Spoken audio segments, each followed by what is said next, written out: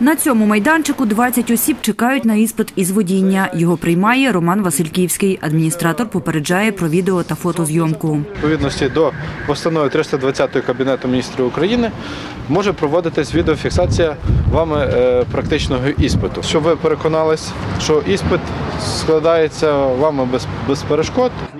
Роман Васильківський каже, кандидати, які складатимуть до 1 січня практичний іспит водіння, можуть відмовитись від відеозйомки. За його словами, після цієї дати відеофіксація буде обов'язковою.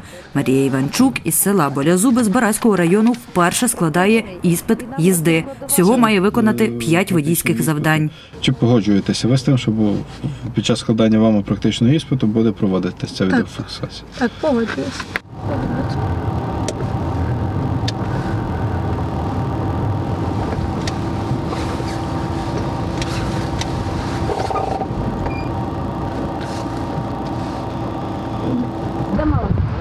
Мало бути бампером.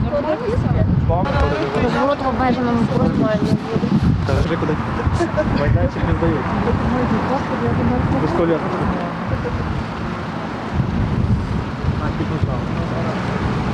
Щойно лише здавали екзамен на майданчику, але відеореєстратор, напевно, що не впливав на сам екзамен. Хіба що може давав більшої впевненості, що якщо що, то можна якось ну, доказати, наскільки ти правильно здавав екзамен. А це складає іспит Тарас Чех. На відеофіксацію кермування тернополянин погодився.